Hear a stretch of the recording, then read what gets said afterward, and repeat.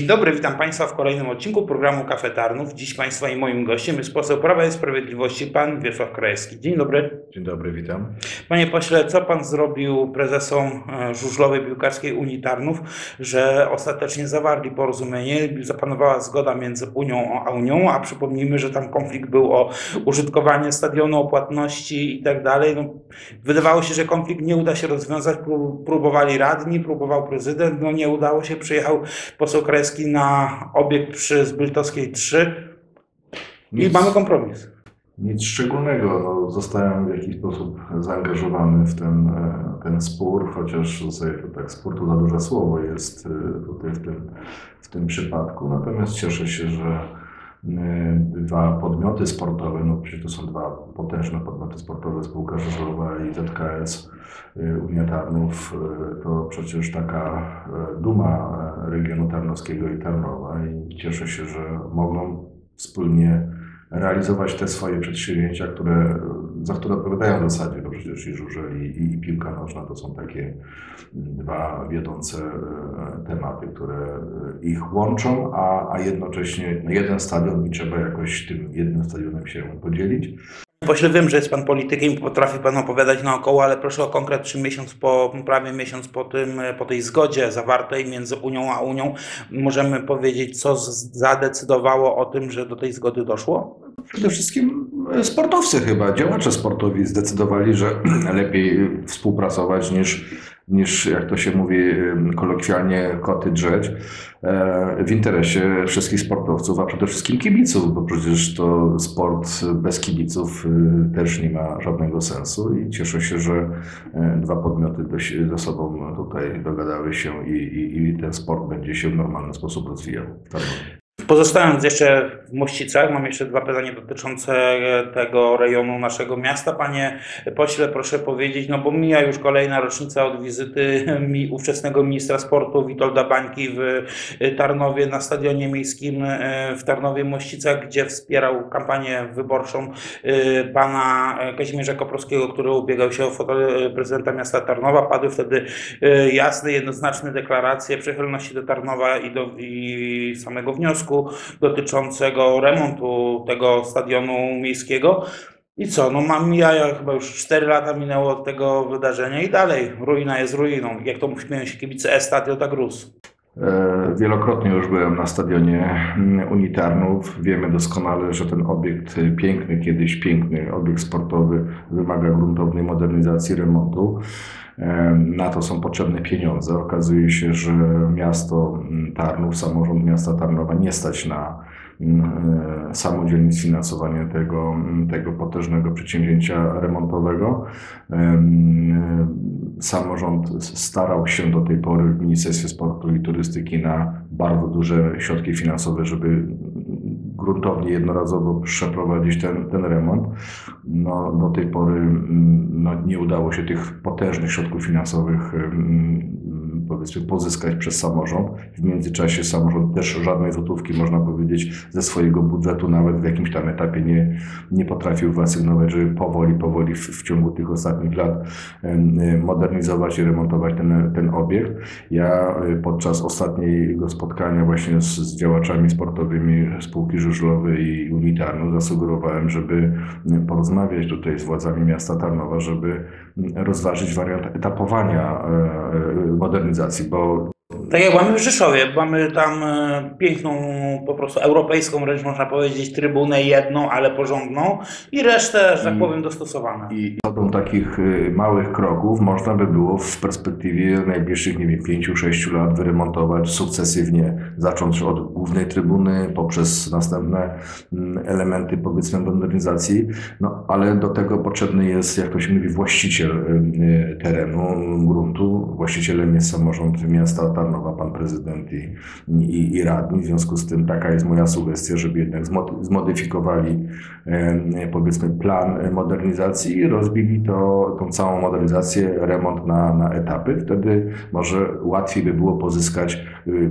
dużo mniejsze środki finansowe, powiedzmy 10-15 milionów, a nie 100 y, milionów złotych od razu. Także to jest taka moja podpowiedź, sugestia dla działaczy, ale również i dla władz miasta Tarnowa. Na pewno, na pewno y, ten piękny obiekt sportowy wymaga modernizacji w interesie samego miasta Tarnowa, a przede wszystkim kibiców, którzy chętnie by przychodzili na piękny obiekt sportowy.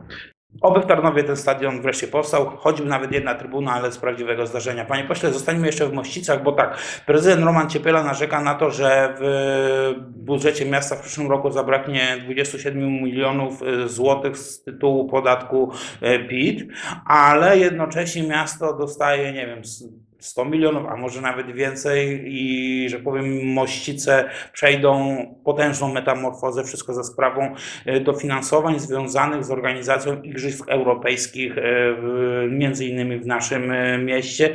No, inwestycje potężne, za 30 milionów, 32, będą remontowane drogi, jest remontowany tam park wodny, powstanie w sumie mały, kameralny, ale jednak stadion, no to właśnie jest o co się martwić, że brakuje te 27 milionów. Czy ja oceniam wystąpienie i wypowiedzi pana prezydenta e, no, jako narracja e, i głos totalnej opozycji. Co prawda pan prezydent e, kilka lat temu, nie wiem czy to jest jeszcze aktualne czy nieaktualne, ale no, pokazując, że jest neutralnym politykiem, zrezygnował chyba, czy zawiesił swoje członkostwo. Zawiesił, a później go usunęli z automatu. Tego, tego już szczegółów nie pamiętam, ale no, wtedy wydawało się, że no, chce jakby dystansować się od, od bieżących sporów politycznych i w interesie Tarnowa realizować jako klasyczny samorządowiec to, co mieszkańcom Tarnowa i regionu jest dobre i potrzebne. Okazuje się, że wpisuje się właśnie w tą narrację choćby mm, ostatnia akcja związana z protestem samorządowców w zakresie dystrybucji czy pomocy mm, mieszkańcom e, odnośnie zakupu węgla na, na zimę w tych trudnych, e, no, bardzo geopolitycznych e, czasach i, i chwilach, nie tylko tu w Europie Środkowo-Wschodniej, ale również przecież w całym w tym regionie świata. E, natomiast e, pan prezydent e, jako jedyny odosobniony, można powiedzieć, przypadek samorządowca, bo przecież spotykam się z, wójtami, burmistrzami, starostami tutaj z naszego regionu. Ja nie słyszałem ani jednego słowa krytycznego, pomimo nawet różnych opcji politycznych, z których wywodzą się poszczególni samorządowcy, że rząd nie wspiera samorządy, samorządy lokalne. Przecież w ostatnim czasie, w ostatnich trzech latach, w czasach koronawirusa, w czasach, gdzie jesteśmy też w trudnych momentach, momencie e, agresji Rosji na, na Ukrainę. Okazuje się, że potężne miliardy złotych trafiają do samorządów na różnego rodzaju inwestycje, na różnego rodzaju wyrównania subwencji ogólnej dla bieżo, do bieżących wydatków, choćby teraz prawie 14 miliardów trafi do samorządów na, na te koszty związane z, z inflacją i, i, i z tym elementem zabezpieczenia energetycznego mieszkańcom. Także to są potężne środki finansowe, które trafiają, e, trafiają dla, do samorządów. Jedynym samorządowcem w naszym tutaj całym okręgu wyborczym e, w regionie tarnowskim jest pan prezydent e, Roman Ciepiela. Czy to jest obiektywne spojrzenie, czy bardziej nastawione polityczne, to już zostawiam mieszkańcom do osądu. Uczepmy się jeszcze dalej, jeszcze mocniej pana prezydenta Romana Ciepieli, który wzywa parlamentarzystów, przede wszystkim Prawa i Sprawiedliwości, do poparcia projektu budowy wschodniej obwodnicy Tarnowa. No panie pośle, albo mnie mam Alzheimera i o czymś zapomniałem, albo yy, nie wiem, mam jakieś zaciemnienie w głowie, no ale chyba wydaje mi się, że we wrześniu minister Adamczyk podpisał program inwestycji dotyczący połączenia autostrady A4 na wysokości yy, Pilzna z Pilznem, który będzie de facto jakby wschodnią obwodnicą Tarnowa. Teraz prezydent wzywa Was do tego, żebyście poparli jakąś poprawkę do budżetu przyszłorocznego, budżetu państwa na budowę wschodniej obwodnicy Tarnowa, kolejna droga. No, będziemy mieć dwie wschodnie obwodnice miasta. Czy to jest tutaj, dostrzegam brak y, konsekwencji pewnej logiki w postępowaniu władz y, miasta, miasta Tarnowa. Pamiętam jeszcze w poprzedniej kadencji, w latach 2015-2019, gdzie byłem wtedy posłem tamtej kadencji, gdzieś około wiosny 2016 roku do biura poselskiego tutaj na Rybnej w Tarnowie za, no, zgłosiła się grupa, liczna grupa z, jako przedstawiciela, ale przecież na, na, na podpisach, na, na deklaracjach była, to były setki mieszkańców, wyrażając jakby dezaprobatę do y, planowanego przebiegu y, szlaku komunikacyjnego tutaj ze zjazdu y, autostrady w kierunku, w kierunku Ładnej, tam, żeby włączyć się do drogi 94 krajowej. I wtedy y, jeszcze był, można powiedzieć, czas na to, żeby zweryfikować y, y, po pierwsze koszty całej, całego przedsięwzięcia, bo wiemy doskonale, że tam kilkadziesiąt, nawet ponad 100 budynków było do wyburzenia. Estakada była planowana bardzo kosztowna i okazało się, że łączna wartość planowanej inwestycji na niewielkim odcinku drogi to jest ponad 600 milionów, milionów złotych. Tarnów musiał dołożyć chyba 350, jak pamiętam. I biorąc pod uwagę, e, że e, przepisy o, e, o drogach publicznych mówią, że miasta na prawach powiatu, a Tarnów jest takim miastem, w subwencji ogólnej otrzymują dodatkowe środki finansowe na utrzymanie tak zwanych dróg krajowych, które przechodzą prze, przez miasto i miasto ma jakby w obowiązku koszt inwestycyjny i remontowy utrzymać w granicach administracyjnych. Pozostałą kwotę, czyli ten odcinek drogi, który był poza miastem Tarnowa, pokrywa państwo, czyli Generalna Dyrekcja Dróg Krajowych i Autostrad.